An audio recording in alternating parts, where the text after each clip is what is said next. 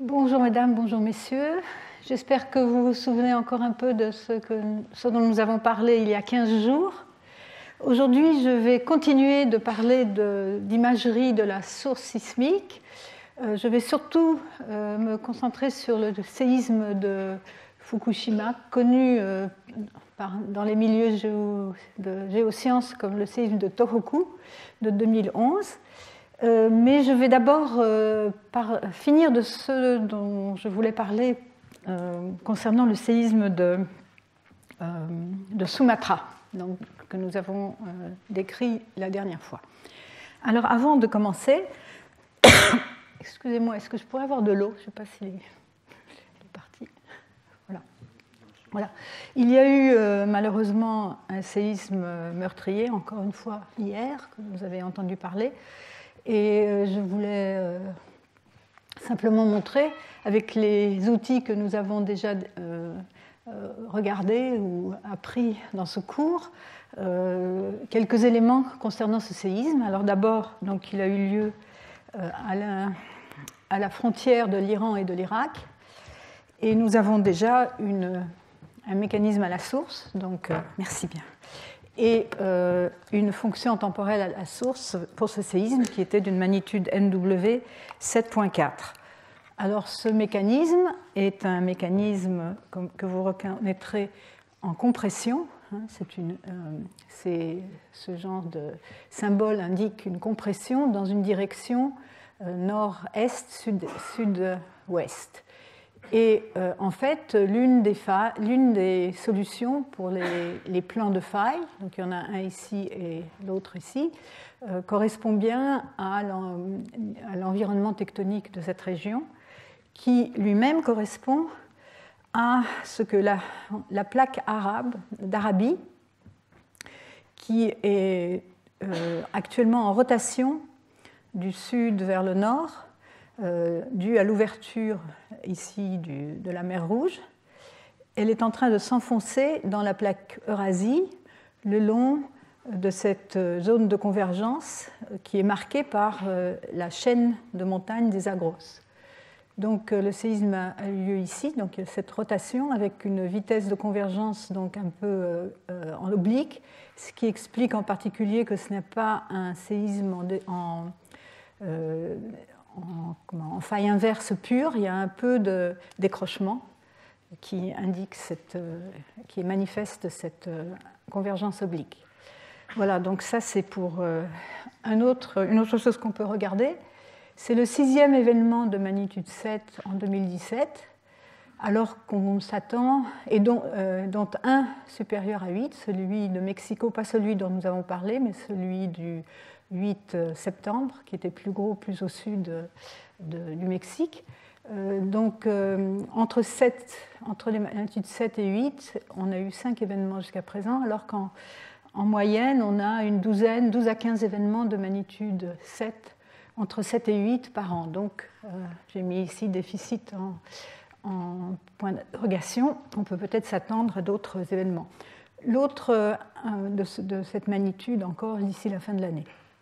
L'autre euh, remarque assez intéressante, c'est que parmi ces événements, il y en a deux qui sont des événements profonds. Un très profond aux Philippines, une profondeur de 627 km, et l'autre de profondeur intermédiaire à 135 km de profondeur ce qui est aussi euh, assez euh, rare, enfin pas très courant, disons, euh, d'avoir des séismes de cette magnitude à grande profondeur. Voilà.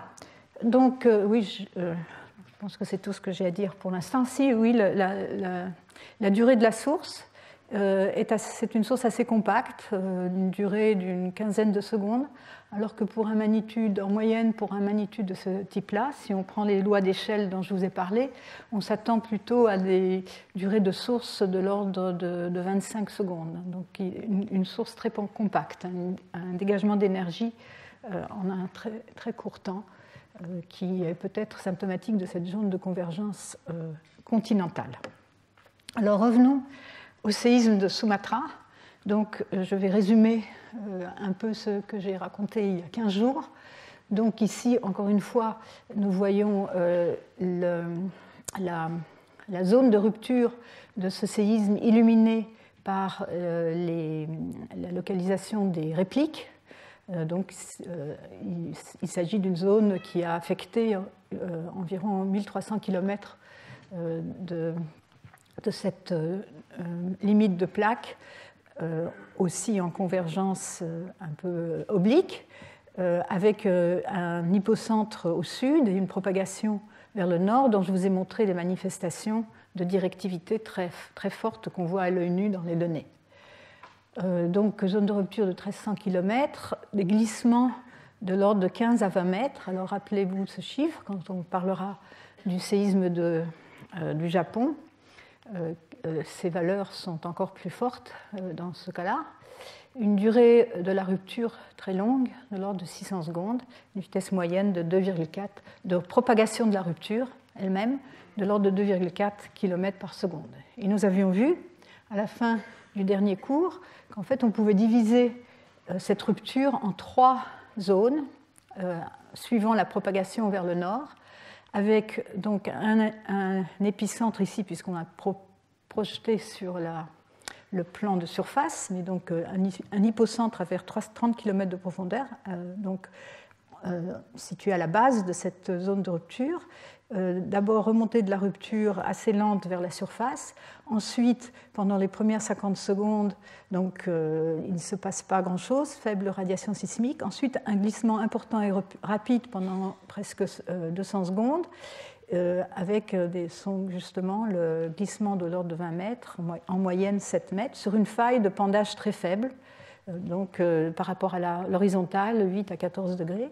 Ensuite, un autre segment où le glissement a ralenti, avec aussi un, déplacement plus faible et une faille de pendage un peu plus importante. Et enfin, une dernière partie de cette, cette rupture euh, qui euh, est relativement plutôt lente, avec peu de glissement, et qui se termine par euh, un,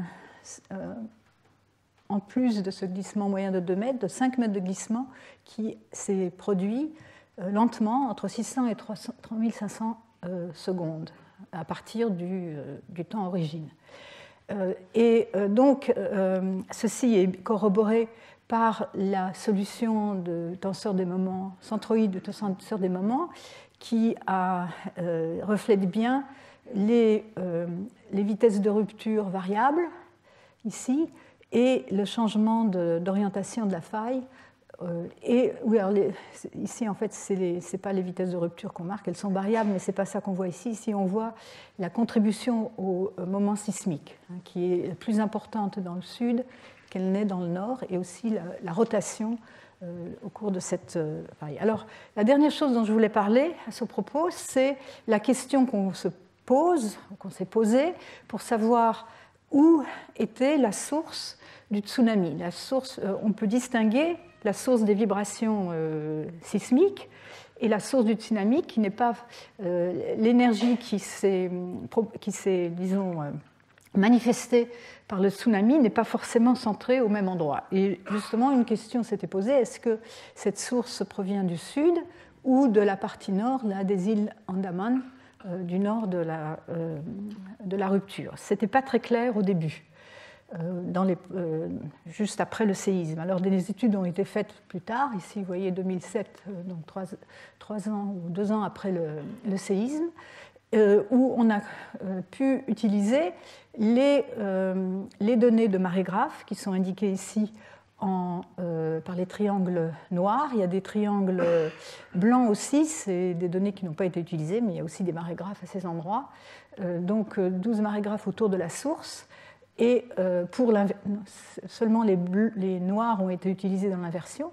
Et on y a associé des données du satellite, plusieurs satellites. Il se trouve qu'il y avait trois, satellites qui mesurent, euh, donc euh, la satellite altimétrique qui mesure la hauteur de la surface de la mer, qui sont passés par là juste après le séisme et donc qui ont, euh, produit des, données importantes.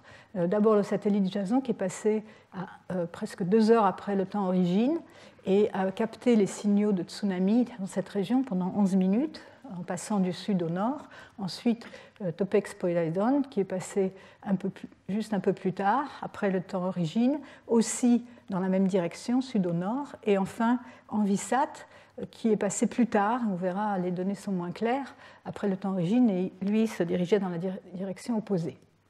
Et donc, euh, ces auteurs ont rajouté à ces deux types de données, donc des données de marégraphe et de satellitaire, une bathymétrie réaliste, pour, qui la bathymétrie, la, hauteur du fond marin, influe euh, sur euh, les vitesses de propagation et les directions de propagation du tsunami. Alors, je montre ici les données des marégraphes. Donc, euh, vous avez ici plusieurs, stations. Euh, notez que les chiffres ici, donc ça c'est en fonction du temps. Le temps origine c'est zéro, donc certaines commencent à zéro, certaines sont indiquées ici à, déjà à 120 minutes après le, le temps origine, hein, donc deux heures après le temps origine. Le, tsunami se propage lentement mais c'est un peu déconcertant quand on regarde ça euh, la première fois pour comprendre ce qu'on voit. Donc c'est pas la même, euh, c'est pas, euh, disons la même référence de temps dans toutes les stations. Alors on voit que les premières arrivées, notées en rouge, sont donc 120 à peu près 120 minutes après l'initiation de la, rupture, ici dans ces deux stations-là, donc les plus proches de la rupture sismique, à peu près donc en même, arrivées en même temps. Et ensuite, euh, les îles Cocos arrivent 140 euh, minutes après. J'ai mis. Euh, je ne le vois pas. Ah si, il est là. ici, vous voyez ici 140 minutes. Le signal arrive. Puis, sur la côte est de l'Inde, donc à peu près en même temps, mais avec quelques petites différences qui ont fait qu'au début, on n'était pas très sûr de de l'origine de ce. Euh, d'où venaient ces, ondes exactement, parce que si on fait la rétroprojection euh, en tenant compte des, euh, temps d'arrivée, suivant qu'on est au sud ou au nord, on voit une source à différents endroits de cette rupture énorme de 1300 km. Alors les données satellitaires ont apporté quelques éléments. Je les montre ici. C'est encore une fois alors c'est euh, bon, euh, on voit ici en fonction de la position du satellite, donc aussi du temps, euh, on a les observations qui correspondent au passage du satellite après le séisme, qui sont en gris, on ne voit pas très bien. On les compare aux observations durant le passage précédent on fait aussi beaucoup de corrections pour enlever les effets des marées et autres effets de ce type. Et on va prendre la différence entre les observations durant le cycle précédent et le séisme, et c'est ce qui est montré euh, donc par des carrés. Je ne sais pas si vous voyez, mais ce sont ces grands signaux. Ici, on voit un pic euh, dans Topex Poseidon, on en voit deux dans Jason, et euh, en Vissat, par contre, c'est presque déjà noyé dans le bruit. Alors, euh, l'utilisation de toutes ces données conjointes a permis une inversion, donc de, même manière qu'on fait l'inversion des données sismiques. Euh, et donc pour cette inversion, on a paramétrisé euh, cette faille ici en 22 éléments. Et on a pris quelques informations euh, à partir des, résultats sismiques, donc en particulier la direction du glissement, le, plan, le pendage de la faille d'après la zone de réplique, la direction du glissement d'après la solution euh, du tenseur des moments. Et euh, donc aussi, on a supposé une rupture qui commence à l'épicentre et qui se propage vers le nord. Et on a essayé diverses vitesses de rupture. Et là, il y a des, quelques incohérences, c'est-à-dire les données satellitaires préfèrent une, une, rupture qui se propage lentement, 1 km par seconde. Par contre, les marégraphes préfèrent 2,5 km par seconde, mais ils n'arrivent pas à résoudre cette différence. Enfin, L'important, c'est qu'ils ont pu montrer que la source du tsunami atteint, donc couvre les, trois quarts, ou les deux tiers au moins, trois quarts en fait de la zone de rupture jusqu'à 900 km au nord, de l'épicentre. Et ici, on voit euh, euh, simplement un peu plus le, glissement obtenue donc à partir de l'inversion des données de marégraphes satellitaires qui sont donc dans cette zone, dans la même zone où, suivant les vitesses de rupture, on a des solutions un peu différentes, mais qui sont toutes dans cette zone concentrée sur la zone sud, avec, avec quand même, on ne voit peut-être pas très bien ici sur la diapo, du glissement important dans cette zone centrale. Et donc, par contre, toute la partie nord n'a pas l'air d'avoir euh, eu euh, de rôle à jouer dans euh, l'excitation du tsunami. Et, donc on en a déduit qu'il y a eu un glissement lent donc, dans cette région-là, mais un glissement lent qui qui s'est produit assez rapidement tout de même après le séisme, puisque quand, puisqu'il a dû se produire après le passage du tsunami, mais avant les mesures de terrain qui ont été faites donc, suite à ce séisme et qui ont montré euh, l'évidence de, subsidence dans cette région partie nord du, euh, de la rupture. Alors, parlons des, un petit peu, je vais introduire un peu ces notions de, donc de glissement lent. Euh, il y a, on observe maintenant de manière plus ou moins routinière, après les très forts séismes, une relaxation post-sismique qui euh, donc correspond à un glissement qu'on ne ressent pas du point de vue sismique, pas dans la bande de fréquence sismique, euh, qui donc correspond à des, déformations plus lentes, mais qui sont très bien euh, observées dans les données, dans les données de GPS en particulier, principalement. Ici donc on voit les séries temporelles donc journalières euh, pendant 15 jours après le séisme. Ici, c'est le, temps origine du séisme. Et on observe, après, on a enlevé, il y a bien sûr euh, un décrochement au moment du séisme, un, déplacement important qui, n'est pas indiqué sur cette figure. Et ensuite, on regarde comment euh, ces déplacements de ces, de ces diverses stations GPS se, évoluent au cours du temps. Et on voit ici une, assez importante euh, évolution, surtout dans certaines stations de cette région. Ici, on voit ces Phuket, euh, et dans les stations Arau, on voit euh, des déplacements importants qui, ont, qui, ont, qui vont jusqu'à 4 cm hein, pendant ces 15 jours qui suivent le séisme. Alors, ce qu'on en a déduit, c'est la présence de, donc de relaxation post-sismique la forme de cette courbe est importante parce qu'elle euh, permet de distinguer la nature de cette relaxation post-sismique. Ce ne sont pas les répliques, les répliques du séisme qui sont des tremblements de terre, qui, euh, euh, sont la cause de ces observations. Si c'était les répliques, on aurait une dépendance en temps, en puissance du temps. C'est une loi empirique qu'on observe depuis très longtemps après les forcéismes, que le, euh, euh, comportement des, répliques est, en fonction du temps, euh, suit une, loi de puissance, ou inversement à la puissance P du temps.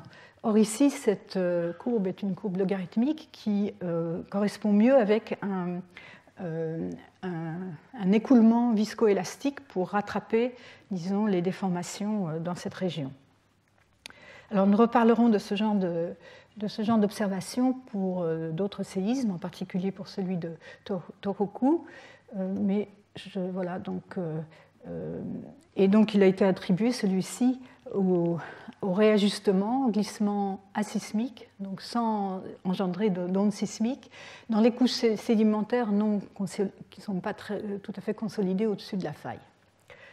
Alors, d'autres observations après qui confortent aussi la, relaxation viscoélastique après ce séisme, ce sont les données euh, gravimétriques. Alors ici, donc, le géoïde, c'est euh, mesure la hauteur du géoïde, c'est une façon de mesurer le champ de gravité euh, de, la Terre et ses variations latérales. Et ici, on, compare euh, le, géoïde observé, ou plutôt les anomalies du géoïde par rapport à un modèle de référence qui est un modèle d'ellipsoïde de révolution de, la Terre on, observe ces anomalies géoïdes avant, avant le, séisme de 2004, qui, a eu lieu à la fin de, l'année 2004, donc pendant les deux années précédant le séisme. On compare avec le champ observé, le, géoïde observé, ou les anomalies de géoïdes observées, après les séismes. Alors pourquoi les séismes? Parce qu'il y a en fait euh, trois séismes qui interviennent. Euh, le séisme euh, principal de Sumatra 2004 et un gros séisme au sud en 2005, donc le, séisme qu'on appelle le séisme de Niaz. Et en 2007, il y a eu aussi un séisme de magnitude 8.4, encore un peu plus au sud. Et donc on voit ici une anomalie euh, avec une augmentation de la gravité, donc quelque part euh, soit un rapprochement de la surface, soit une augmentation de la densité. Et en arrière, ici, dans le bassin arrière, on voit une diminution de ce géoïde qui, euh, encore une fois, colle bien avec l'idée de cette relaxation viscoélastique post-sismique. plus récemment, ceci a été étudié euh, donc, euh, euh, en prenant 10 années de données GPS et en regardant l'évolution des déplacements dans toutes ces stations. Alors les données ici sont en noir avec les barres d'erreur. On a les trois composantes, nord, est et verticale. Donc c'est les déplacements en mètres. Hein. donc on est ici c'est 5 cm, plus ou moins 5 cm, qui sont bien résolus dans ces données. Et euh, donc, euh, ces auteurs ont développé des modèles viscoélastiques pour essayer d'expliquer euh, ces, tendances. Hein. Dans ces tendances, on a déjà enlevé la, référence qui est la convergence des, plaques moyennes dans cette région, d'après des modèles globaux. Et donc, il ne reste que des effets supplémentaires qu'on associe à la relaxation post-sismique. Alors, c'est simplement pour donner un exemple. Donc, ici, il y a plusieurs modèles. Il y en a qui collent mieux, il y en a qui collent moins bien. Euh, ici, en mauve, celui qui est préféré par ces auteurs, qui colle le mieux dans ces stations, euh, certainement dans cette station-là, et dans un, euh, peu moindre mesure dans cette station-là. Et donc, celle-là est ici, LWK. Cari est, je crois, ici. Et euh, il me semble, ça doit être celle-là. Et euh, dans les autres, les illustrations sont euh, moins sensibles ici, mais par contre, BAN 2, qui est elle en, dans le sud de l'Inde, permet aussi de, différencier ces différents modèles. Et pourtant, elle est assez loin. Alors, donc simplement pour vous donner une idée du genre de modèle qui se fait, c'est un modèle viscoélastique en éléments finis dans lequel les auteurs ont, euh, donc ont montré que pour vraiment mieux euh, expliquer les données, ils sont obligés d'introduire une zone justement visqueuse en arrière de la zone de subduction. Alors ici, c'est simplement, on montre en coupe, donc en fonction de la profondeur et de la distance, euh, c'est un schéma très simple, où on montre la lithosphère de, de la plaque plongeante qui plonge dans le manteau, ici jusqu'à 500 km de profondeur, et les différentes couches introduites dans ce modèle avec différents comportements euh, de déformation, donc une lithosphère élastique et une, euh, une asténosphère euh, viscoélastique et un manteau supérieur aussi viscoélastique. Donc, dans ces modèles viscoélastiques, il y a une partie euh, de comportement élastique, une partie de comportement visqueux. Donc on a à la fois, euh, ils sont euh, décrits à la fois par un module d'élasticité, ici E, et un module et une viscosité. Et donc, bon, on peut essayer différents modèles. Alors, la, lithosphère elle-même, le, ce qu'il appelle ici le slab, donc la plaque est d'épaisseur dans ces modèles de la, la partie rigide de la clave, élastique, et de 40 km d'épaisseur. Et donc, euh, pour expliquer les données, il est intéressant de voir que la partie arrière qui correspond à une zone euh, d'extension de, de, bac arc, derrière l'arc, euh, semble être soumise à, cette donc, relaxation viscoélastique qui est, est importante, qu'on voit dans les données. Et donc, pour finir, voici, encore une fois, c'est la même chose, mais, mais vu maintenant donc, de manière synthétique, le modèle montrant les, les, prédictions de déplacement de ce, enfin, les prédictions de déplacement de ce modèle viscoélastique avec des subsidences ici euh, le long euh, de la zone de subduction et euh, en arrière-arc ici, et au contraire, donc, une surélévation des deux côtés, et qui, bon, qui ont l'air de coller pas trop mal avec les données qui sont données par les, les, déplacements horizontaux qui sont donnés par les, par les flèches, mais bon, je trouve pas l'accord parfait quand même, mais bon voilà. Ok, donc ça c'est tout ce que je voulais dire sur le séisme de Sumatra. Donc un énorme séisme avec une propagation unilatérale du sud vers le nord et euh, des, disons, des vitesses de glissement différentes euh, suivant les parties de la faille et sans doute du glissement euh, assez lent dans la partie la plus au nord, où on a d'ailleurs par ailleurs on n'a pas de disons, de, connaissances historiques de très forts séismes. Donc on peut peut-être imaginer que cette zone-là est moins prompte à casser euh, de manière dans des, dans des, forts séismes. Mais il faut toujours faire attention avec ce genre d'affirmation, comme on a toujours des surprises. Alors passons maintenant donc au séisme de Fukushima, que nous appelons le séisme de Tohoku. Donc je vais sans doute l'appeler Tohoku, euh, qui donc a eu lieu au nord du Japon euh, le 11 mars 2011. Donc un, autre de ces séismes géants, un peu plus petit que celui de Sumatra, une magnitude N9.0 comparée à 9.2 pour le séisme de Sumatra, et euh, qui s'est produit dans une zone où la convergence entre la plaque Pacifique et la plaque Eurasie non, euh, Amérique du Nord ici, pardon, qui est de, euh, de 8 cm par an euh, environ. Alors, c'est un séisme qui a aussi engendré un très fort tsunami. Donc je vous rappelle, alors ici ce, dessin, je l'ai trouvé sur Internet rapidement. Il faut l'inverser puisque la direction de la faille, c'est dans l'autre sens. Mais sinon, l'idée, c'est toujours la même.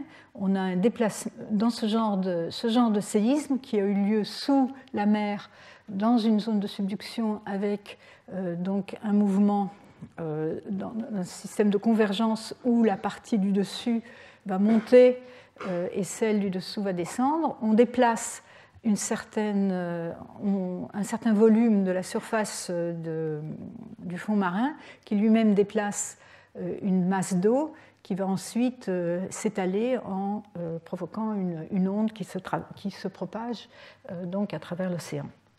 Alors, ce séisme donc, a provoqué un, tsunami gigantesque, beaucoup plus fort que celui qui n'avait été prévu euh, et qui était allé au fond, qui est allé beaucoup plus loin dans, les terres euh, que euh, n'avait été prévu par les, disons, les déterminations officielles de risque sismique au Japon à l'époque. Et bien sûr, il a été augmenté par euh, la catastrophe de, la centrale nucléaire euh, de Fukushima. Alors, nous allons examiner un peu pourquoi euh, on ne pensait pas qu'il pourrait y avoir un séisme de cette taille-là à cet endroit-là, mais c'est très important parce que quand on passe de manière, pourtant dans euh, le, disons, il y avait eu une évaluation de la probabilité grand séisme de subduction dans cette région-là en 2002, qui avait donné lieu à, certains documents, et donc un document officiel qui était en vigueur encore en 2010. On avait une probabilité de 80 à 90% pour un séisme de magnitude 7.7 à 8.2 dans les 30 années à venir. Donc une très très forte probabilité pour un très fort séisme, mais tout de même un échelon de magnitude inférieur, donc 30 fois moins d'énergie, donc une faille beaucoup plus faible. Hein. Donc ici, c'est un dessin que j'ai emprunté. Euh, il y a eu beaucoup d'articles à la suite de ce séisme, se posant la question pourquoi on n'avait pas prévu qu'il pourrait avoir un séisme de cette taille-là au large des côtes du nord du Japon. Et donc vous voyez la différence sur la taille de la rupture, hein, simplement la faille, euh, entre un, séisme euh, de magnitude 9 et un séisme de magnitude 8. Euh, vous vous souvenez de l'expression du moment sismique qui est proportionnel à la surface de la faille et bien sûr aussi au glissement. Dans un magnitude ici 9 sera plus important que dans un magnitude 8. Alors jusque-là, on avait à notre disposition certaines idées euh, donc, qui euh, avait été euh, engendré dans les années 80, où, on avait observé, essayé de comprendre s'il y avait des relations entre la taille des séismes, la magnitude des séismes observés, et certaines propriétés des zones de subduction. En particulier, dans cette carte ici, montrée dans les années 80, la vitesse de convergence et l'âge de la plaque.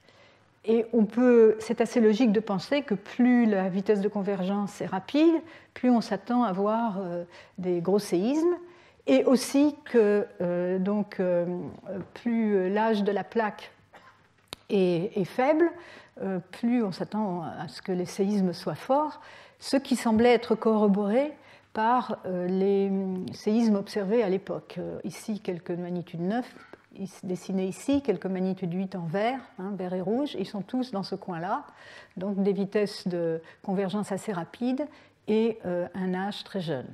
Or, euh, le, séisme de, Tohoku euh, a, eu lieu dans une zone ici de vitesse de convergence bon, relativement rapide, 8 cm par an, euh, mais euh, un âge de plaque très, très, très grand, 120 hein, millions d'années, donc euh, pas du tout, ne rentre pas du tout dans, cette, dans, cette, hypothèse.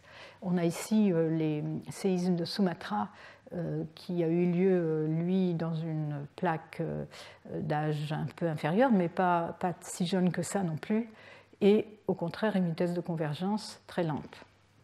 Donc cette théorie-là euh, n'est pas enfin, été donc écartée.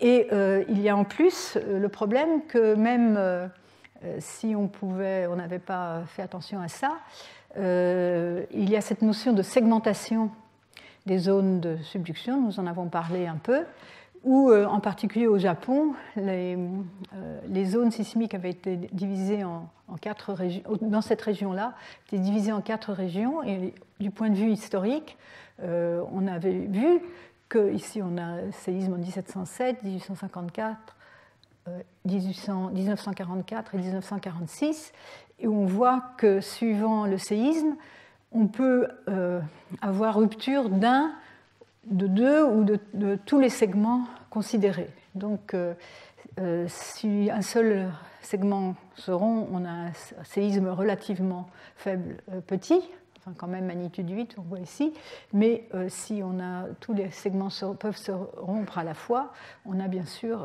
un séisme beaucoup, plus fort.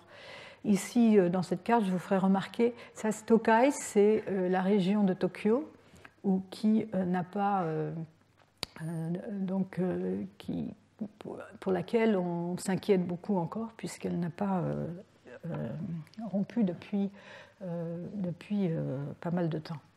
Alors, on, qu'on savait, on savait ça avant 2011, mais ça n'avait pas été, disons, ça n'était pas entré dans, la conscience, c'est qu'il y avait eu un tsunami euh, appelé le tsunami de Jogan en l'an 869, qui a sans doute été euh, aussi fort que celui de 2011.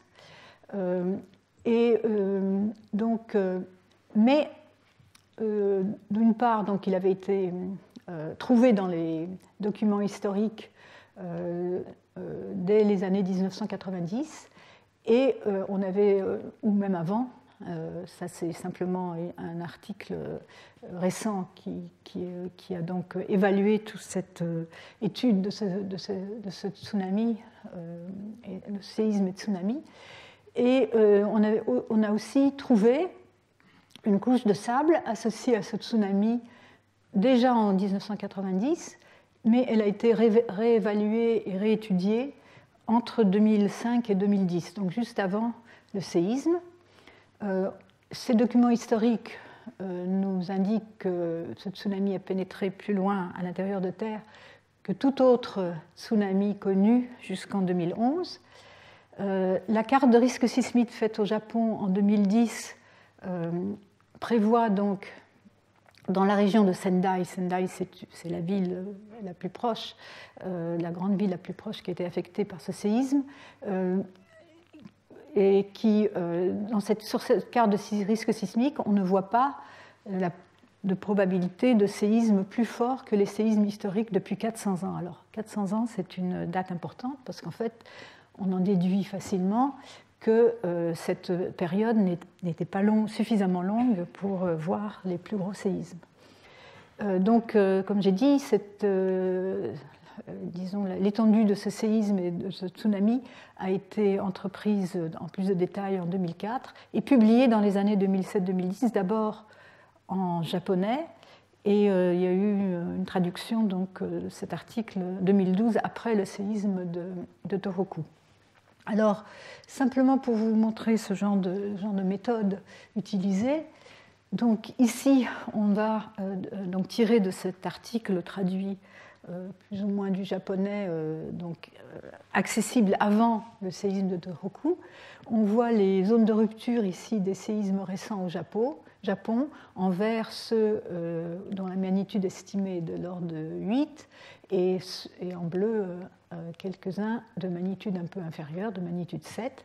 Et donc la zone qui a été étudiée du point de vue stratigraphique, c'est cette zone-là, qui est ici, ici agrandie. Donc ici, vous avez Sendai est ici. Et euh, encore en plus de détails, on voit ici euh, les, euh, disons, les études stratigraphiques qui ont été faites. Celles des années 90 avaient été faites dans cette partie nord ici, et celles qui ont été entreprises euh, euh, à partir de 2004 sont donc notées par ces, segments S6, S7, etc. Et donc, là, on voit en bleu pâle l'étendue de, de, la mer euh, enfin, du tsunami, donc euh, jusqu'où a été euh, l'inondation. et je répète ici cette carte, et pour vous donner une idée de la comparaison avec le tsunami de 2011, on voit ici cette flèche, donc ça c'est une coupe, donc dans cet endroit-là. en, marron, ce sont les régions plus surélevées de, la. Euh, donc de la c'est pas la côte, ce sont les régions surélevées.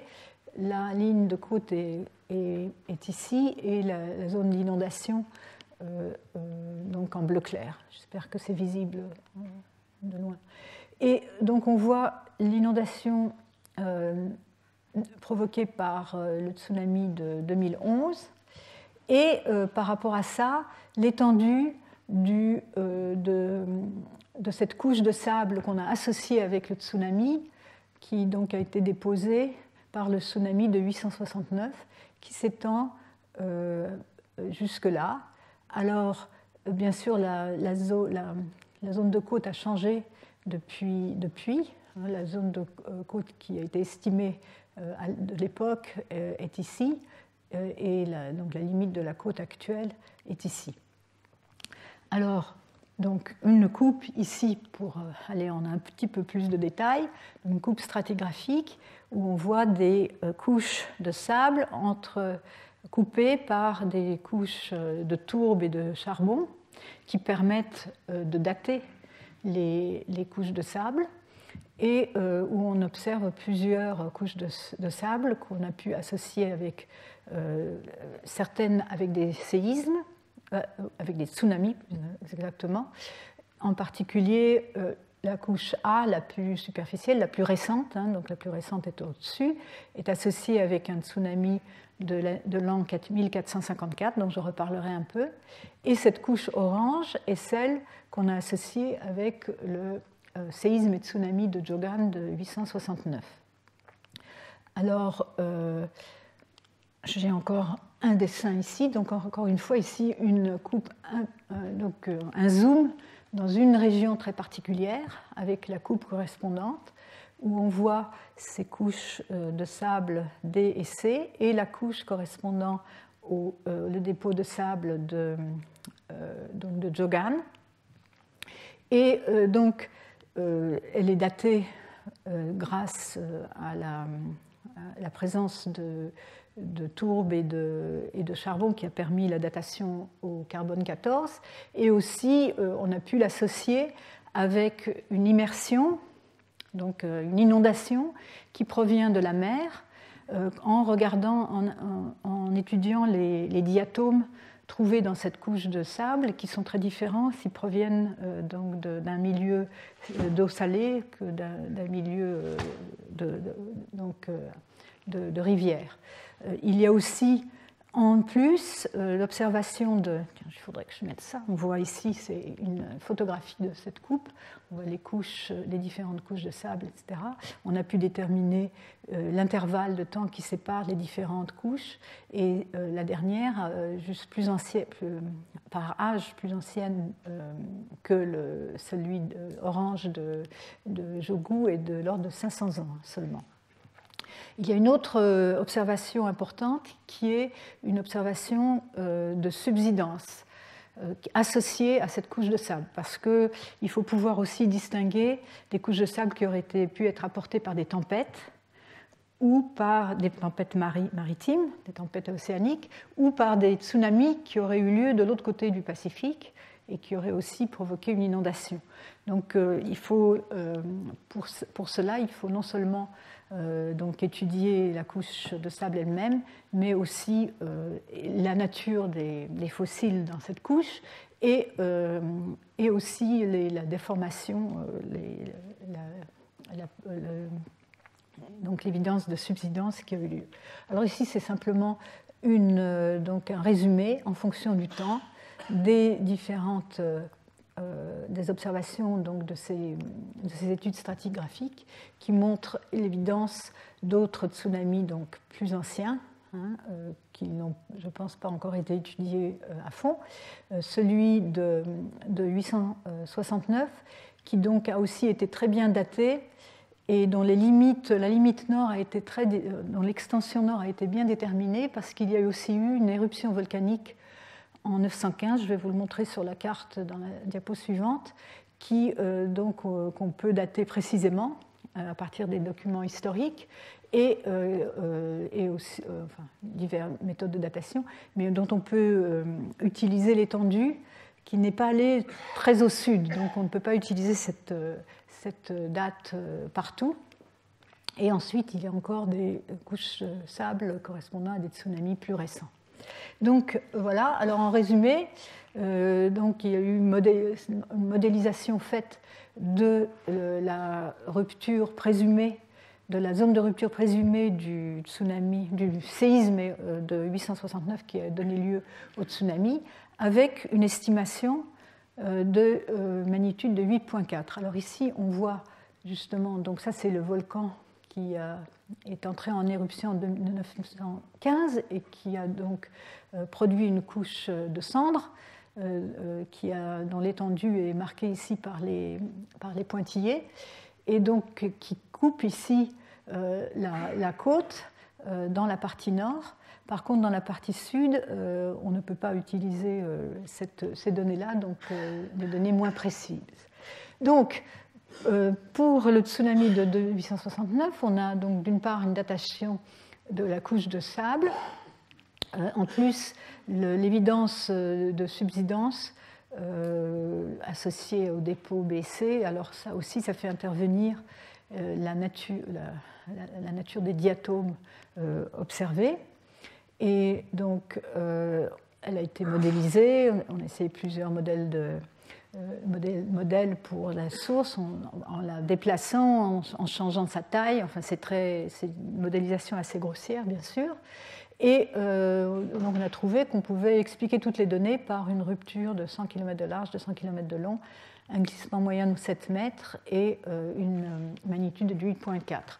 On a aussi, bien sûr, simulé les tsunamis pour, pour tous ces, enfin, pour tous ces, ces essais de, de, zones de rupture pour voir ce qui collait le mieux avec les données. Euh, et donc, euh, la limite sud peu contrainte. Et euh, donc, ce qui est à souligner, c'est que ces données ne nécessitent pas de déglissement énorme près de la fosse. Ici est la fosse. Hein, donc, où nous allons voir que le glissement pendant le séisme de Stokoku a été très important.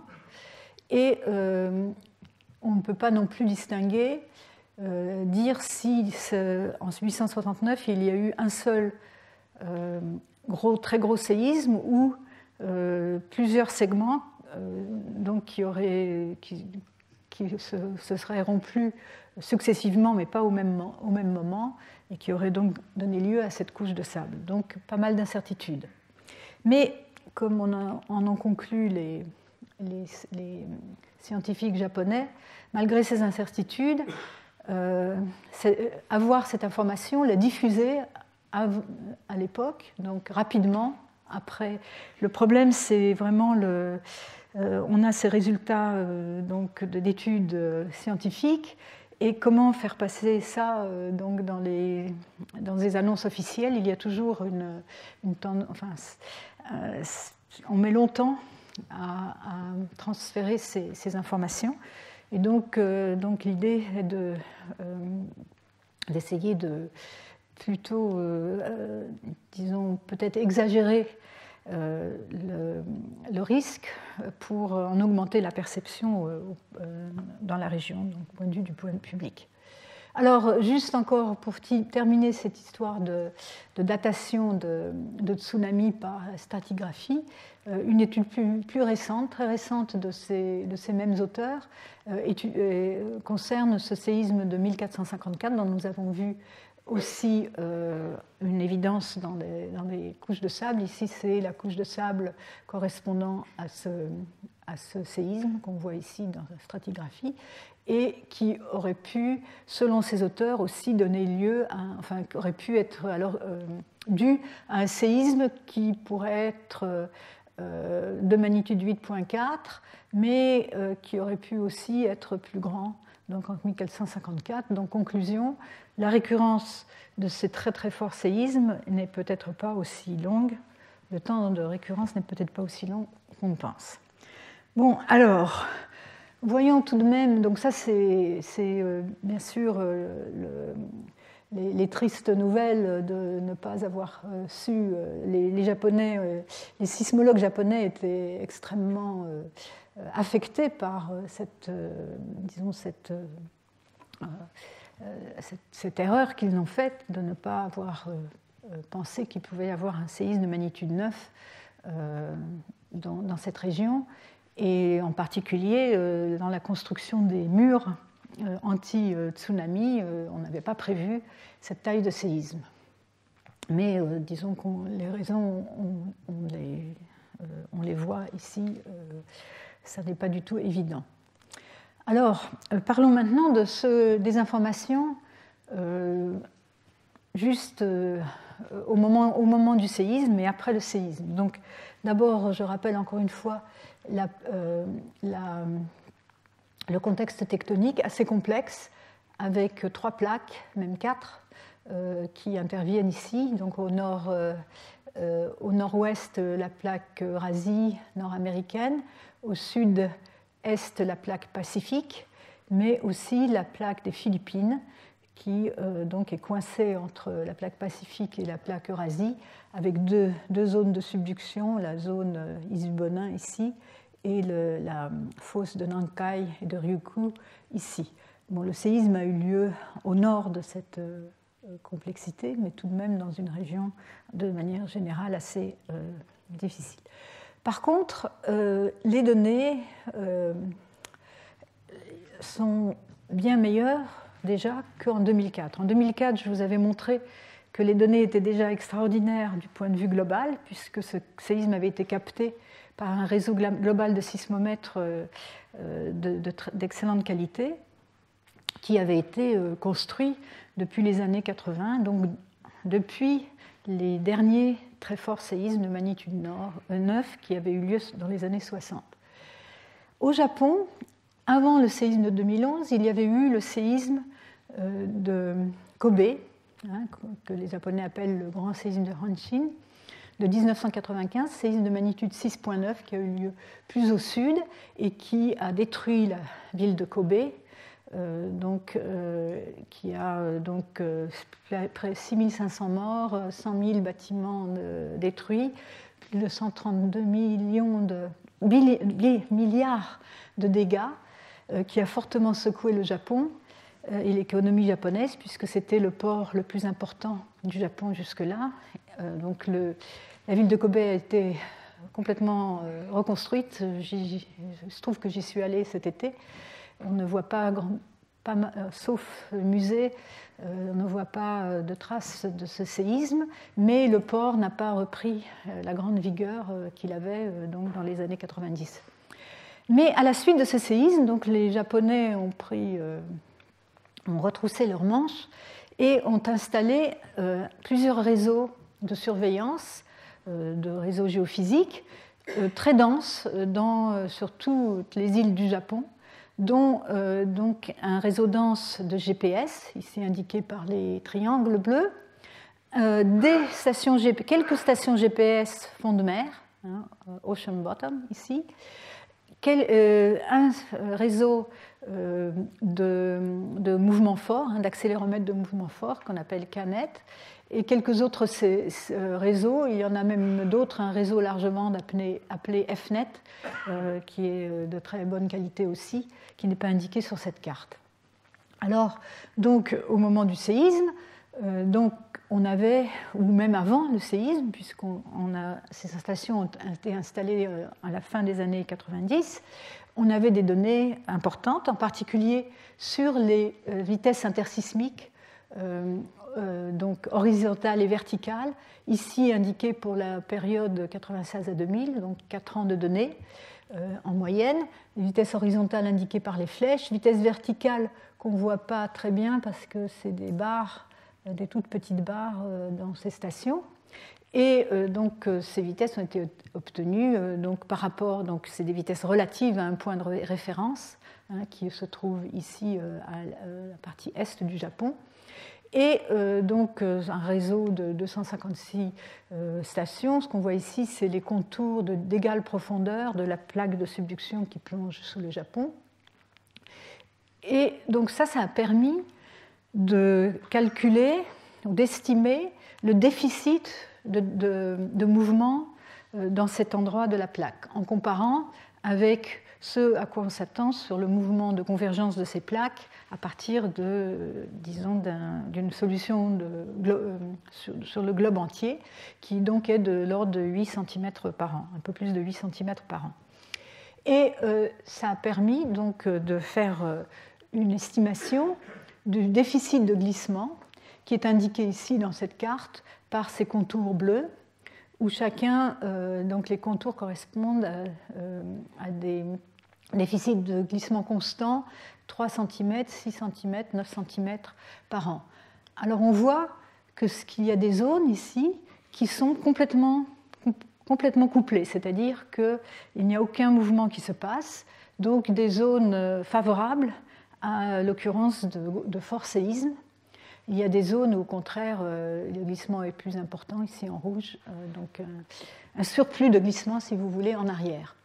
Mais ces zones, euh, donc, il y en a, quatre ou cinq, euh, donc, euh, à l'époque, ont été considérées comme les zones les plus probables des, forts tremblements de terre à venir.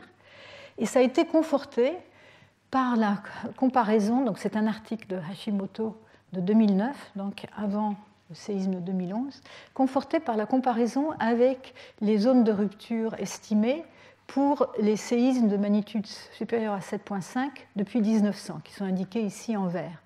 Et vous verrez l'excellente correspondance entre ces zones de rupture qui donc correspondent à des séismes qui ont effectivement eu lieu, tous des séismes donc de magnitude 7 ou 8. Et la zone estimée sur la base de ces données GPS sur les zones qui sont coincées sur la plaque. Et donc, ils en ont déduit que, euh, effectivement, ces zones-là sont les zones euh, qui sont euh, les zones à risque les plus importants, donc de, de séismes et de tsunamis associés, hein, puisqu'encore une fois, ce sont des séismes de zones de subduction avec donc un mouvement vers le haut de la partie de la plaque qui se trouve au-dessus. Et euh, donc, euh, euh, voilà. Alors, ce qui n'a pas été prévu, c'est qu'en fait, la zone de Tohoku, elle a couvert, non seulement, elle a, elle a couvert une plus grande partie. Ici, c'est la, la, fosse, hein, c'est l'endroit où, la, plaque pacifique pénètre sous l'autre plaque. Et donc, vous voyez que ces zones de rupture ne couvrent qu'une partie de cette euh, de la zone de subduction proche de la côte. Alors il y a bien sûr le problème aussi, c'est que toutes les observations sont euh, sur euh, la terre ferme, ou presque. Il y a quelques stations GPS en fond de mer à l'époque, et donc les observations sont moins précises sur les déformations ou leur absence donc, au large des côtes. Alors, donc euh, ça, ça explique aussi pourquoi euh, donc, ce séisme est venu comme une très grande surprise au Japon. Mais pour parler maintenant de choses euh, qui ont quand même marché, je voulais quand même passer quelques temps, un tout petit peu de temps, sur le système d'alerte rapide au Japon, d'alerte sismique rapide au Japon, et sa performance au cours du séisme, de ce séisme, qui en fait a été très bonne. Ça a très bien marché, comme je voulais Malheureusement, euh, ça n'a pas empêché euh, la quantité de, victimes dues au tsunami, mais le système d'alerte sismique lui-même a très bien marché.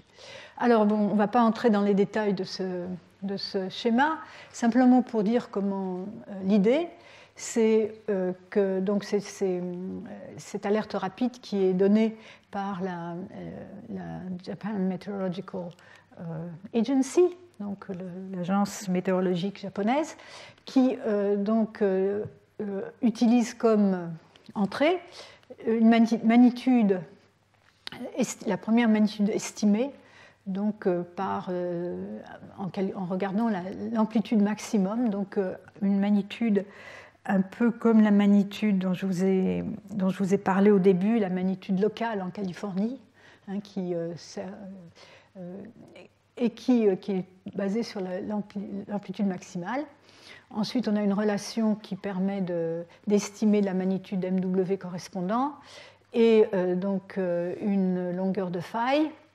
Et en utilisant des relations d'atténuation, ce sont des relations qui vont nous donner l'atténuation des vibrations en fonction de la distance depuis la, source du séisme, depuis l'hypocentre, on peut déterminer euh, les, vitesses du mouvement du sol maximal estimées et euh, les corriger dans chaque site où on va euh, donc prédire ces mouvements par une correction de site, une amplification due aux conditions locales sous, l'endroit particulier, le, site particulier. Et on en déduit une intensité aussi par une formule euh, qui est une donc euh, qu'on appelle euh, l'intensité, mais c'est une intensité instrumentale qui donc est très rapidement déterminée et diffusée par télévision, radio et site web par donc l'agence météorologique deux minutes après le, le, temps origine, déjà deux minutes après le temps origine, et réactualisée ensuite. Ce que je voulais dire ici, mais donc progressivement. Et euh, donc ces estimations d'intensité sont données sur 4300 sites au Japon, et le Japon est divisé en plusieurs régions euh, parce qu'on va, on va prévenir, on va donner l'alerte différemment euh, suivant la distance au séisme. Alors ici, c'est pour montrer, illustrer un peu comment la magnitude, parce que la magnitude a été un problème pour ce séisme. Même l'estimation au moment du séisme a été un problème, il était sous-estimé. Donc dans chaque station, donc ici c'est disons d'abord le, premier hypocentre, ensuite il a été réactualisé. Donc ça, c'est les, différentes réactualisations de la première à la septième, de la huitième à la quinzième, réactualisation de l'alerte, euh, les premières stations qui enregistrent, et euh, donc en fonction du temps, ici en secondes, les magnitudes euh, donc, estimées dans, le cadre de ceux qui sont rentrés dans, ce, dans cette alerte, en fonction du temps, qui ont été progressivement augmentées, mais qui sont restés en dessous de, de 8,5 même après euh, une minute euh, d'évaluation. Alors ici, c'est un résumé de l'alerte. Alors je vais vous rappeler en quoi consiste cette alerte. Qu'est-ce qu'on exploite? On exploite le fait que euh, lorsque le séisme a lieu, la première, onde, la première onde qui arrive donc, dans un endroit donné, c'est l'onde P, c'est l'onde de compression qui en général donc, qui, qui se propage le plus rapidement mais qui, euh, qui ne cause pas de dégâts. C'est une onde, de compression. L'onde dangereuse, c'est l'onde S, qui, heureusement, se propage lentement. Alors je vous rappelle qu'elle est plus dangereuse parce qu'elle elle provoque des mouvements horizontaux euh, forts euh, pour lesquels les bâtiments ne sont pas prévus. Les bâtiments sont prévus pour résister à la gravité. Euh, et euh, cette euh, onde a aussi une période un peu plus longue que l'onde P qui, pour certains bâtiments, résonne avec leur, leur, période de résonance naturelle et donc cause des problèmes. Alors ici, on voit OT, c'est le temps origine du séisme, et on va regarder les alertes suivant quelques, enfin, les alertes successives à, ici à 28 secondes du temps origine, 30 secondes, 31, 45 secondes. On voit euh, donc euh, là où est arrivée l'onde P. Donc ici, à 28 secondes après le temps origine, l'onde P est déjà arrivée sur la côte, mais l'onde S n'a pas encore atteint la côte. donc les premières stations enregistrent ce séisme.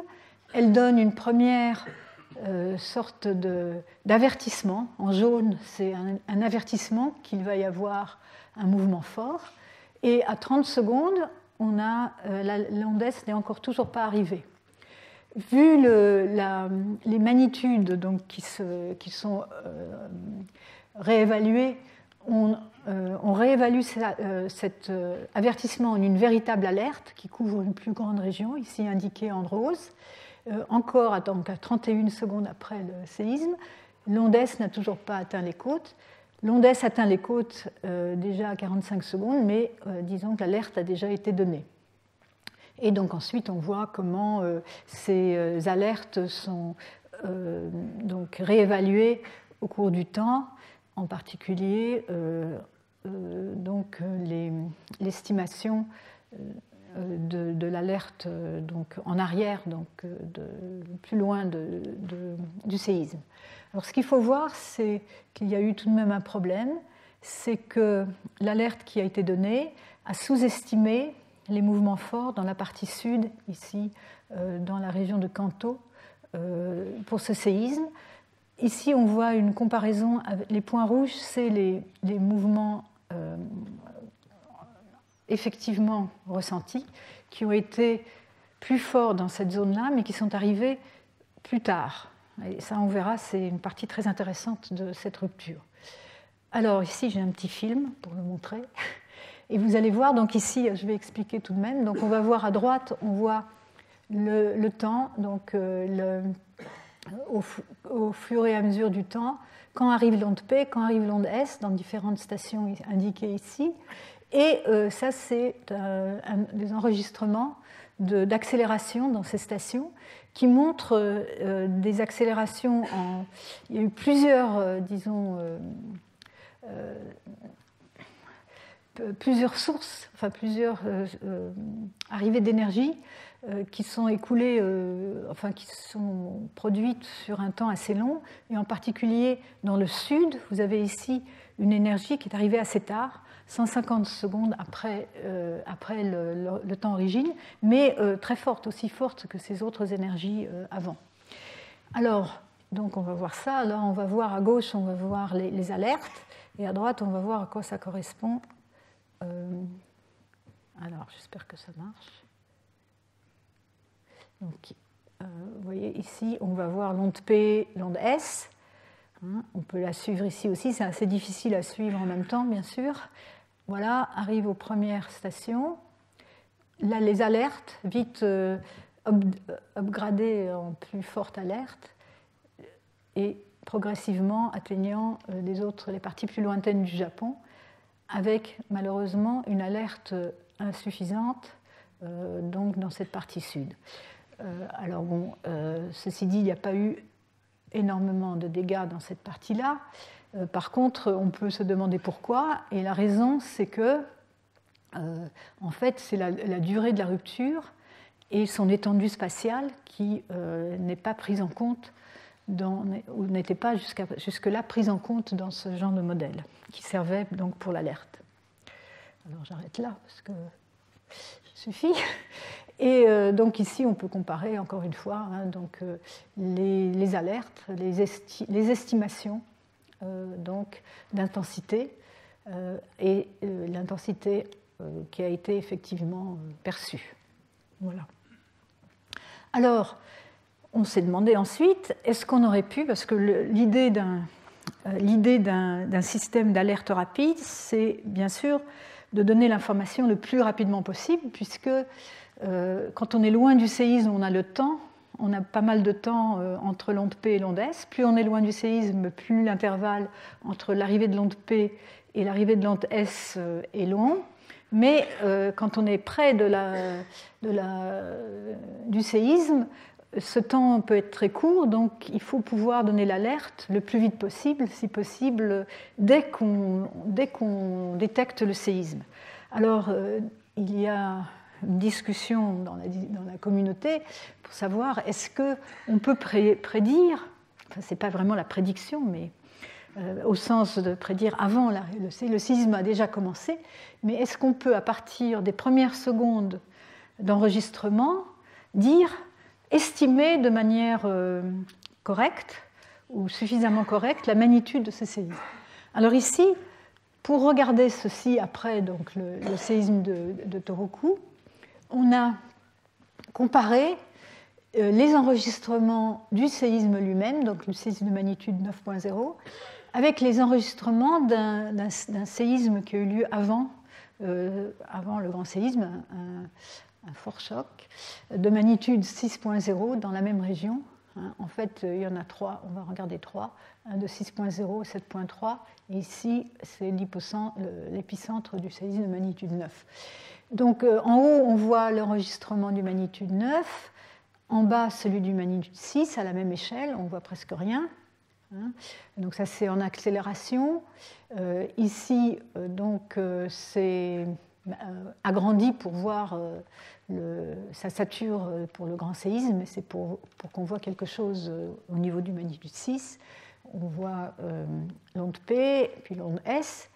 Et ici, c'est la même chose, mais en déplacement, donc intégré deux fois pour avoir le déplacement. Et on observe aussi l'absence de.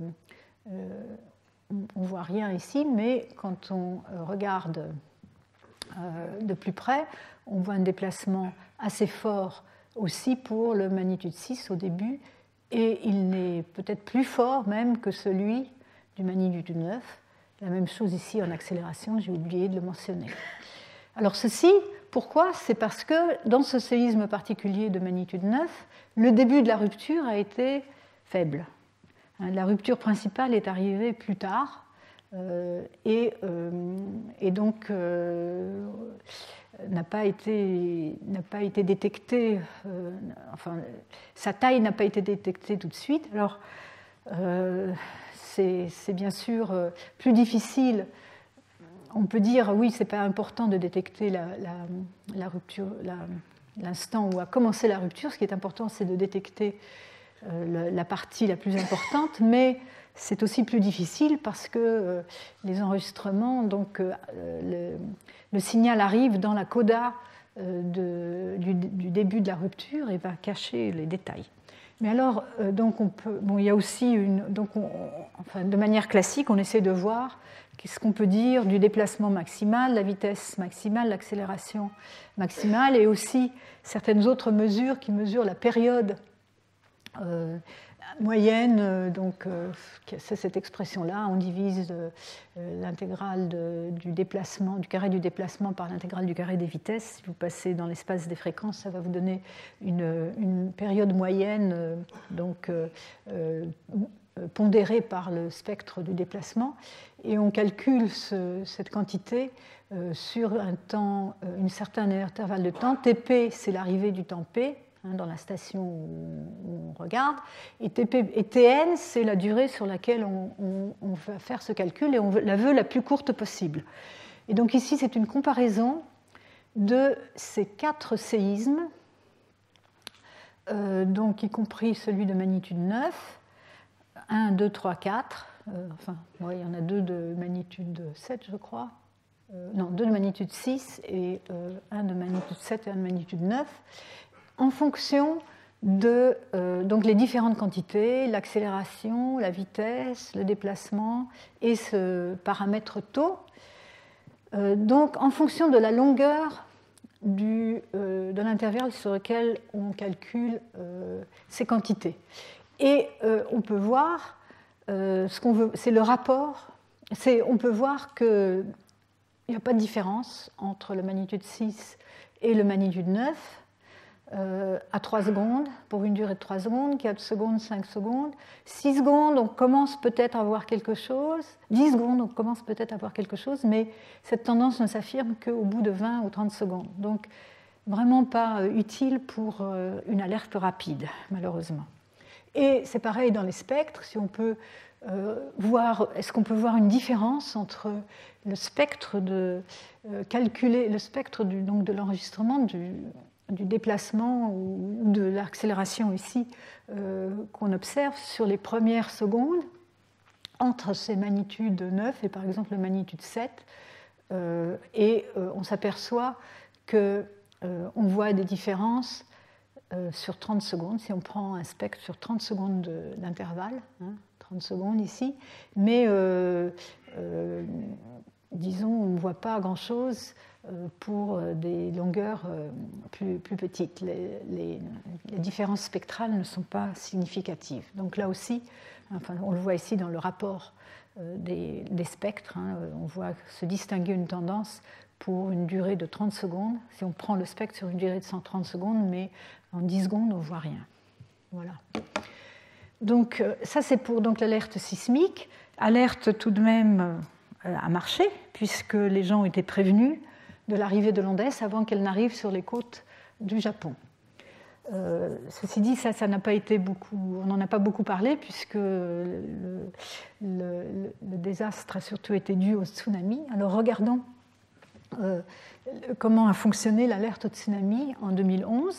Donc ici, euh, cette alerte est basée, donc un système d'alerte au tsunami qui existe depuis 1952 au Japon euh, au début, c'était manuellement, on lisait des cartes de propagation des, tsunamis et il fallait 20 minutes pour donner l'alerte. Cette méthodologie a été euh, donc, euh, remplacée par une méthodologie plus quantitative en 1999, donc il y a, une quinzaine d'années, où on a précalculé une 100 000 ou plus scénarios euh, c'est-à-dire des simulations de tsunami pour différentes localisations et tailles de rupture. Et donc on a une base de données qu'on peut aller, parce que ce calcul bien sûr prend du temps, et on veut ne passer le moins de temps possible euh, pour donner l'alerte. Et donc on a une base de données qu'on peut aller consulter une fois qu'on connaît la localisation du séisme et sa magnitude. Et donc, il y a trois niveaux. Ça, c'est à l'époque, hein, je parle de, l'époque du tsunami donc, euh, de, 2011.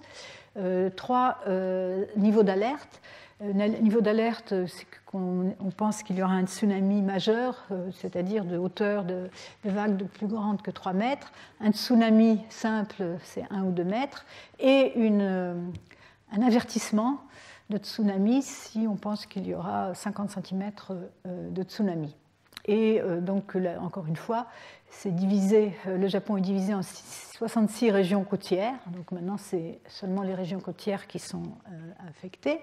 Et les annonces sont faites par télévision, radio, des sirènes et des haut-parleurs. Et là, donc on peut voir, donc il y a aussi quelques stations fond de mer reliées par des stations bouées, reliées par des bouées GPS et euh, donc, euh, il y en avait un total de 188 euh, en janvier 2012, donc quelques-unes de plus que moment du Japon, du, tremblement de terre. Alors, ici, on voit des bulletins, donc c'est pareil, ce sont des bulletins qui sont réactualisés assez souvent. Ici, on voit le premier, le 11 mars à 14h49, donc juste après le séisme qui a eu lieu, si je me souviens bien, à, 19, à 14h43, mais 46, voilà, je l'avais marqué quand même. Donc trois, minutes après euh, le séisme, et qui donc ici réactualisé, c'est euh, le lendemain, hein, donc euh, à 3 h du matin, donc après quelques, quelques réactualisations, il y en a eu quelques-unes entre-temps, et donc on voit le changement dans ce, le rouge indique l'alerte tsunami majeur, orange tsunami moyen et jaune tsunami euh, faible. Et euh, donc, euh, mais il faut noter que ça a été estimé sur la base d'une magnitude 7.9 puisque c'est la magnitude qui a été estimée le plus rapidement. Enfin rapidement, et donc qui a servi dans, d'input pour ce, calcul. donc la première a prévu 6 euh, mètres de tsunami dans la préfecture de Miyagi et 3 mètres dans les préfectures de Iwate et Fukushima. Ils ont été updatés à 6 à 10 mètres euh, euh, au bout de, au bout de, à 15h30, je pense, donc au bout d'une heure, et 3 à 6 mètres dans, dans cette région-là. Alors ici, c'est les enregistrements, les observations de tsunami dans les, dans les stations, montrant euh, comment euh, les niveaux de tsunami sont euh, progressivement réévalués. donc, en particulier, ça c'est l'épicentre. Les, les, diverses stations avec les stations offshore, les stations donc fond, de mer ici, une bouée GPS, par exemple celle-ci, ici une autre, et on voit les, les, niveaux au cours du temps, ici entre 14 heures donc, euh, entre le temps origine du séisme, ici on a 15h, 15h30 ici, les, niveaux, les paliers progressifs d'alerte.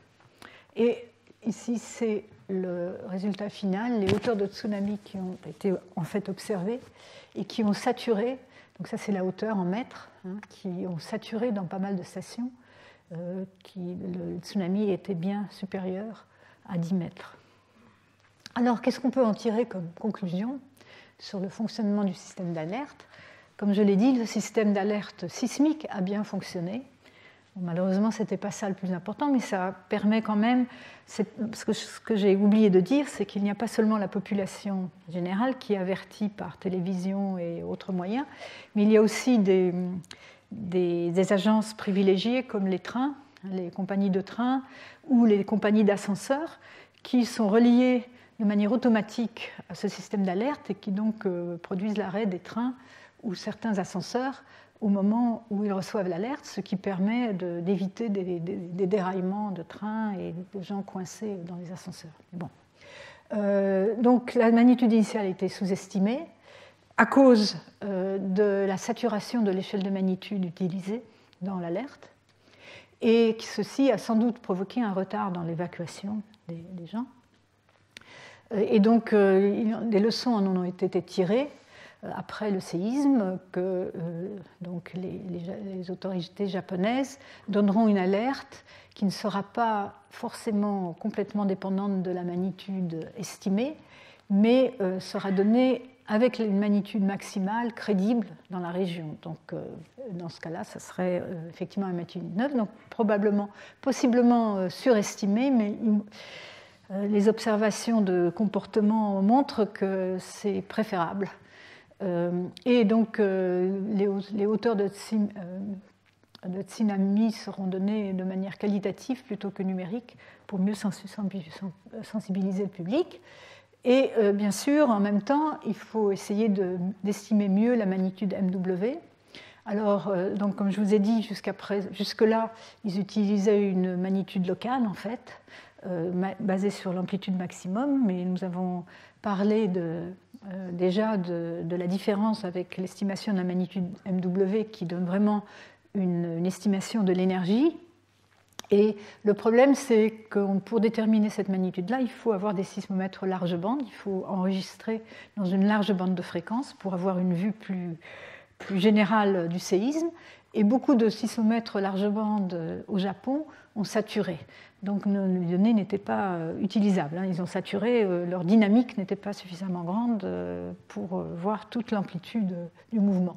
Et donc, les Japonais ont entrepris d'installer 86 mètres largement de plus grande dynamique pour pouvoir calculer cette magnitude MW en un temps plus rapide, en moins de 15 minutes. Il faut aussi un peu de temps pour, pour le calculer, puisqu'il faut attendre qu'arrivent les ondes de surface pour avoir l'énergie de longue période.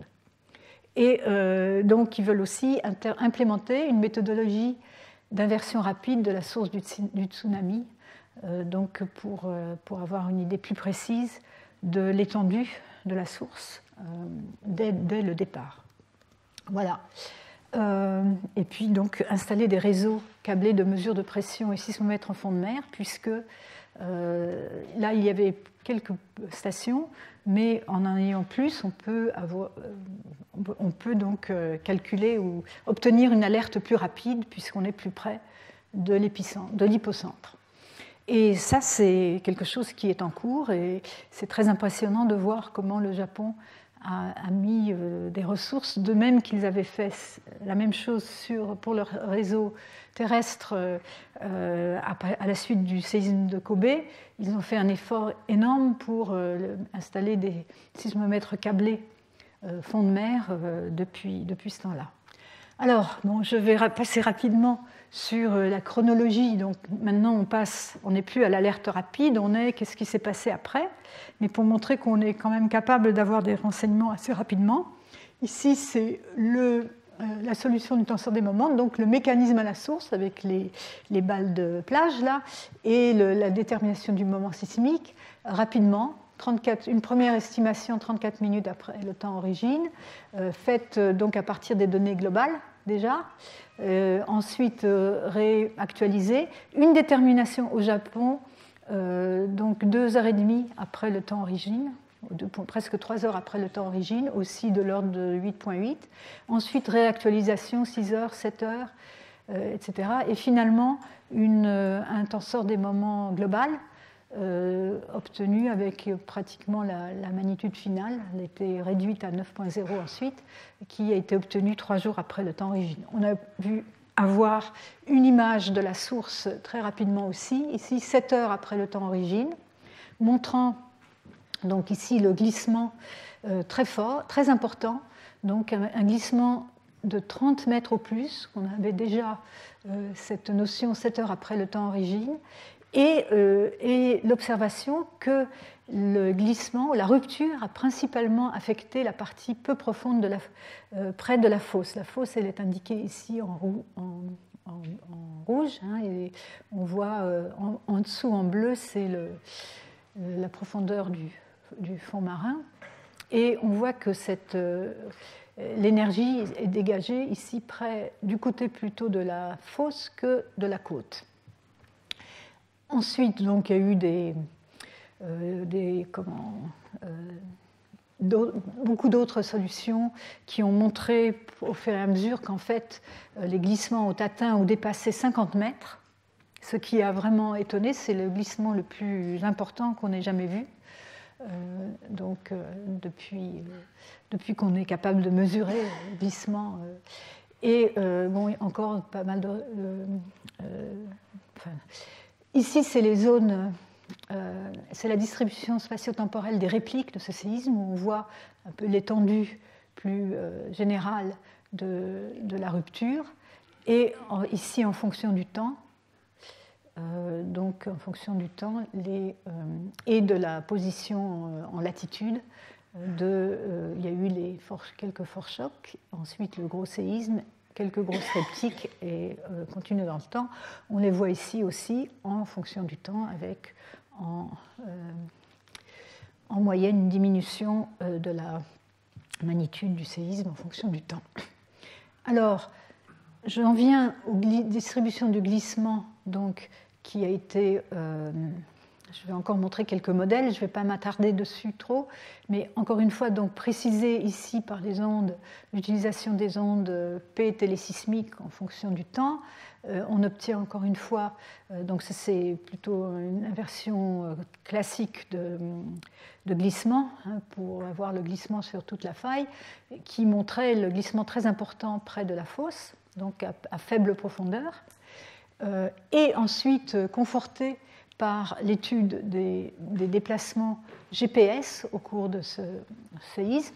Encore une fois, vous voyez un énorme déplacement de plus de 2 mètres ici, euh, donc vers l'est. Et donc ici, données utilisées GPS et les données de tsunami. On distingue le séisme principal et une réplique euh, très forte de magnitude 7.9 qui a eu lieu 30 minutes après. Et euh, donc euh, ce modèle de glissement montre aussi un glissement fort dans la région peu profonde de la zone de subduction, mais a priori pas très question de savoir si la, si la, rupture a été jusqu'au bout, jusqu'à la, la, jusqu'à la fosse. Euh, là, quelques enregistrements du tsunami, mais bon, je pense que je vais passer parce que je vois que je suis un petit peu en retard sur ce que je voulais montrer.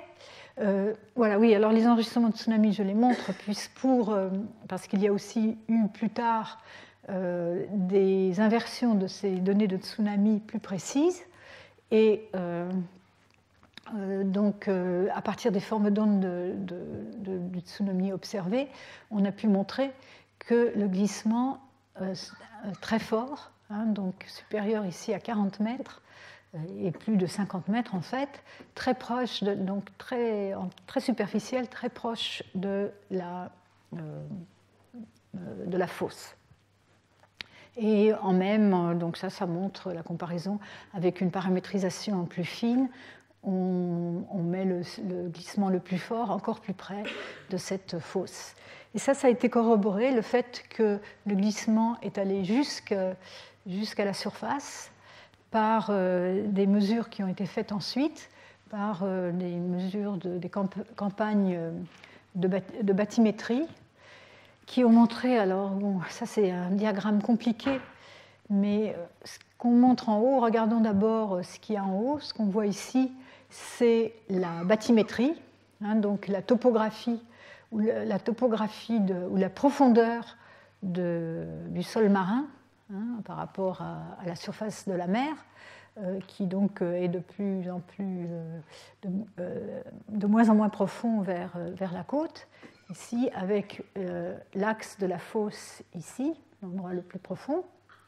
Et ensuite, on a, on a comparé, donc on a fait la différence entre la topographie observée pendant une campagne en 1999 et une autre en 2004, et euh, après le séisme de 2011. Alors, le lieu où cette campagne a été faite est indiqué ici dans cette carte, hein, qui montre euh, encore une fois la, même chose, les mêmes couleurs qu'ici à la profondeur euh, du, sol, du sol marin. Et par contre, ici, l'échelle, elle, est en bas, ce n'est pas la même, c'est le changement hein, entre les deux on a confronté les deux cartes et donc on a pu voir la différence. Et le changement dans la hauteur du fond marin, on voit euh, en rouge là où, euh, euh, où, il a été surélevé et en, mauve où il s'est rabaissé. Et on voit que la, la région surélevée va vraiment jusqu'à aussi bien dans ces intervalles-là que dans l'intervalle plus court de 2004, on voit que cette surélévation a affecté jusqu'à la fosse. Par contre, ici, on a comparé les deux campagnes précédentes, 2004 à 1999, où on n'a pas vu ce genre de différence. Donc ces différences-là sont bien, sont bien dues au mouvement pendant le séisme.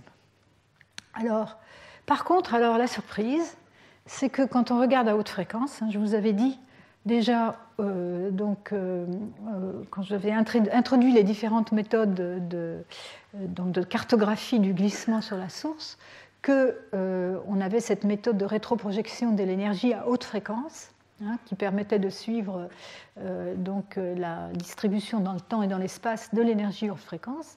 Et quand on a fait ça en utilisant deux réseaux ici, un réseau aux États-Unis, le réseau USAREC, qui se trouvait à cet endroit-là au moment du séisme, donc au milieu des, États-Unis, et un réseau européen, donc toutes les stations ici au centre de l'Europe. Et on voit en fonction du temps, la couleur, montre euh, le temps, hein, où est arrivée l'énergie en fonction du temps, donc propagation surtout vers le sud, hein, en noir ici à 150 secondes tout en bas, mais aussi un peu vers le nord, couleur rouge. Mais le plus, le plus important, c'est que cette énergie haute fréquence, elle est tout en bas, elle est tout près des côtes, donc euh, dans la partie la plus profonde, hein, sur la zone de faille alors que nous avions vu que tout le, glissement le plus important, euh, donc euh, manifesté par les GPS, les tsunamis et l'analyse plus standard large bande, le glissement était près, de, près de la fosse. Alors, encore une fois, on peut le voir dans cette, ce glissement de, haute fréquence, on le voit dans euh, ce film. Hein, euh, bon, c'est simplement la même, chose qu'avant. Et après, on, va voir aussi les répliques, etc. dans ce film. Mais bon, ça, c'est la zone, de réplique euh, dont je passe. Et pour conclure, puisqu'il faut que je conclue et que j'aimerais bien arriver à encore une ou deux, une ou deux cartes, ici, donc, finalement, on a donc un séisme qui a eu lieu en fonction du temps et de l'espace avec euh, plusieurs épisodes. Donc en rose ici, la zone où il y a eu plus, le plus fort, euh, le, plus grand glissement, le plus fort dégagement d'énergie, et la zone où, où s'est dégagée l'énergie de haute fréquence. Alors c'est important d'en faire la distinction. Celui-ci, c'est ce qui euh, est, est, ennuyeux pour la génération du tsunami, mais la génération de haute fréquence est importante, bien sûr, pour le champ euh, de vibration ressenti, euh, ressenti sur la côte. Et euh, donc, en schématiquement, on en conclut un, donc, un, comportement différent des différentes parties de la faille, avec donc une zone de glissement très important, très étendue près de la fosse, donc dans la partie euh, superficielle de la faille et dans la partie plus profonde, près des côtes, euh, quelques sources euh, d'énergie haute fréquence. Donc 90% du moment sismique a été dégagé dans la zone près de, la fosse, glissement relativement lent, je n'ai pas parlé en détail, et par contre plusieurs aspérités ont cassé donc à haute fréquence dans la partie plus profonde.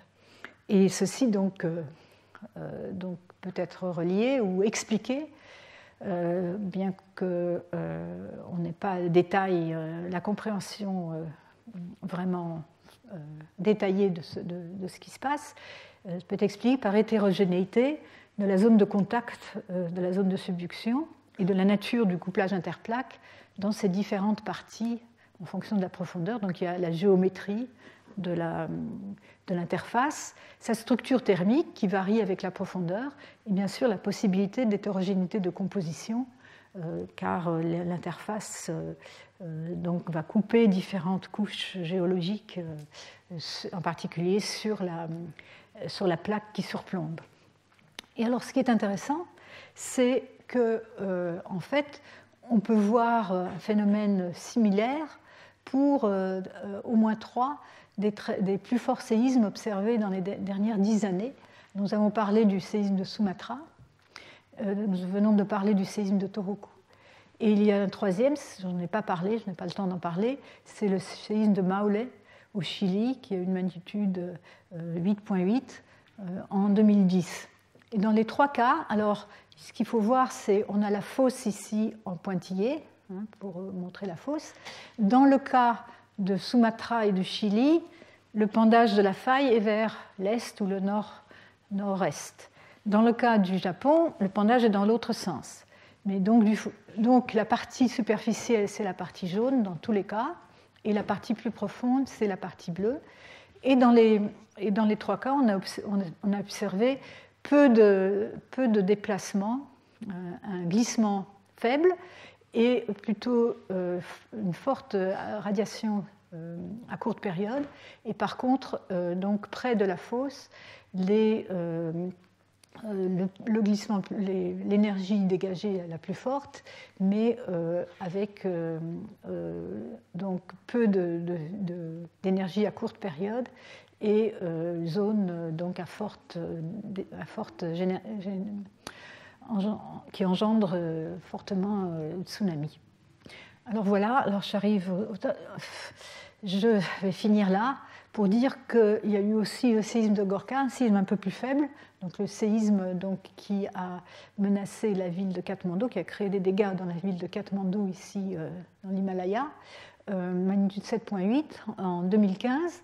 Et euh, là aussi, on a eu la même observation que l'énergie haute fréquence euh, s'est produite euh, près de l'hypocentre est en, bas. Hein, donc là, vous avez une zone de subduction. C'est enfin, pas une zone de subduction, c'est une zone de convergence.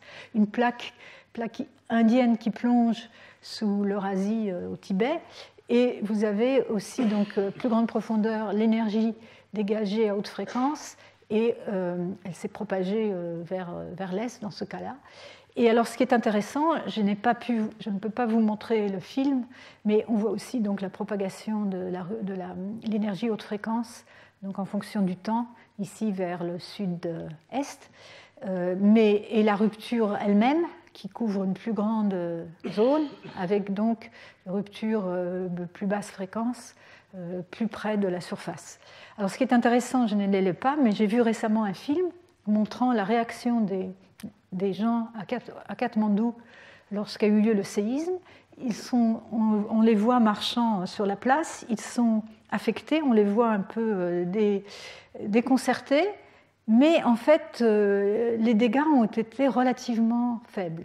Et ceci parce que justement, les hautes fréquences ont été engendrées, euh, générées dans la partie profonde qui était plus loin de la ville de Katmandou, heureusement. Voilà, donc euh, je vais arrêter là. Je suis désolée, j'ai pris cinq minutes de trop aujourd'hui.